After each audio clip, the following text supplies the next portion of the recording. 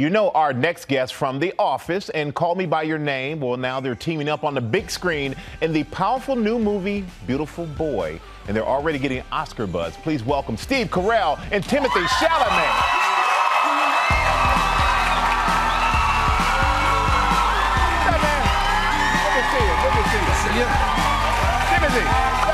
Man.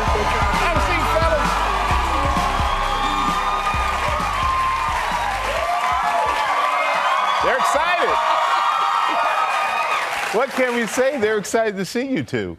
And and this this is great. Timothy, this has been a dream for you. Absolutely. Because you said this man here sitting to your right, you're one of his biggest fans. So what was it like to work with someone you admire so much? I was really nervous. I didn't want him to know. I mean, who who here is a fan of The Office, right? Yeah, so, so, yeah, I didn't want Steve to know because I thought he would be creeped out. Now, The Office, one of your favorite works that he's done? Absolutely, or Foxcatcher, The Big Short, Vice is about to come out. I'm your, I'm your, I'm your publicist now. But it, it really is amazing the work that you've done, and Timothy, you as well. You you are the youngest best best actor nominee in almost 80 years. So call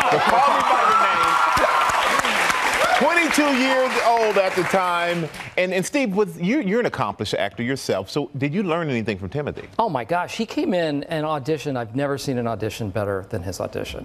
It was incredible. I mean, it, we, we all when he left the room, we all looked at each other and just said, "That's it. It's done." Who here has seen That- the Anchorman audition though?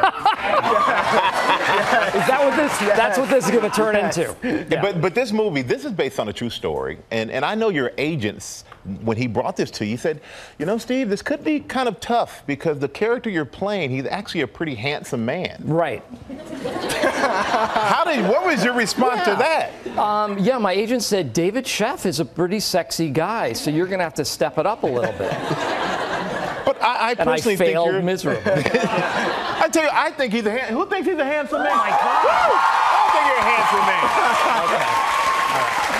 yeah, right. That's just to wake you up, man. Yeah, sure. But b- uh, this this movie, Beautiful Boy, it's a it's a powerful story. It's about a, a father's struggle to help his son with addiction and how addiction not only affects the immediate, but so many people around it.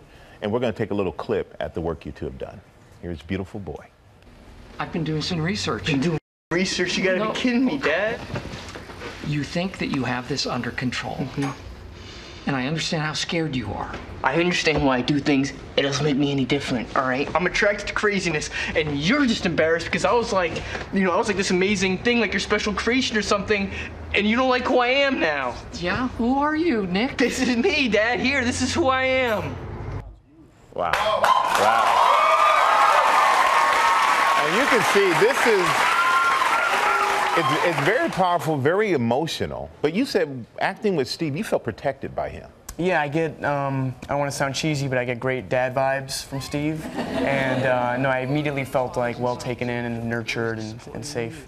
And, and, and Steve, I know for you, there was a little office reunion from um, um, Dunder Mifflin, love, love Ho- your love on the show Holly. Right. Yeah, Amy Ryan, she actually is in the movie Yeah. as well. So how was that for you getting back together with her? It was great, but we like each other. We play a divorced couple in this movie, but we naturally like each other so much that the first scene where we have to embrace it was way too warm for this this divorced couple that you know still care about each other but don't just love each other. So we kind of clicked into Holly and Michael mode there for a second. We had to pull back. And, and when you're in a film like this that is, is heavy and it's a, a, a tough subject, how do you keep it light on set?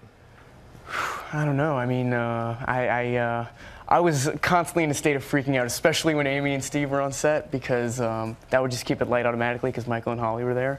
But, uh, but uh, I don't know. It's true. Like you're dealing with heavy material and a heavy subject matter, you almost don't want to. You don't want to make yourself. You don't want to lean into it too much. You know. Yeah, and and Ellie Kemper was here. She's here for GMA Day, and she told us something about you. We had no idea that on the set of The Office, she went to reach for a bagel, and they yelled at her and said, "You didn't have a tongue to grab the bagel. Only Steve Carell can grab a bagel with his hands." so Well, during that- the office, it, to, to, in my defense, I had my hands replaced with tongs. so I was able to just, just so I could do that. Well, I tell you what, don't don't ever replace anything else because you two are fantastic. Your work speaks for itself, and this movie, Beautiful Boy, speaks to a lot of people out there. And I'm glad you guys did this because I've had this in my family, so it's good to be able to see this on film so other people can get through this struggle. Thank you so much, Steve. Timothy, I love, I love seeing you, man. And it is Beautiful Boy. It's in select theaters on Friday. Make sure you go check it out.